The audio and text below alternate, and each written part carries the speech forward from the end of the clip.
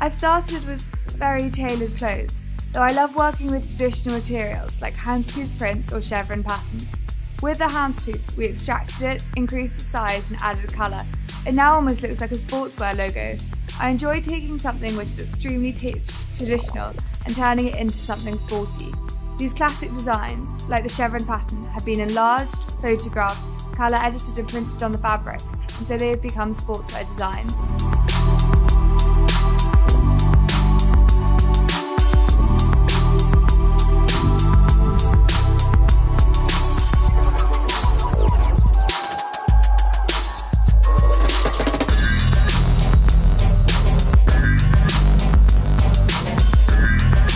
I'm really interested in how men live and how active people move.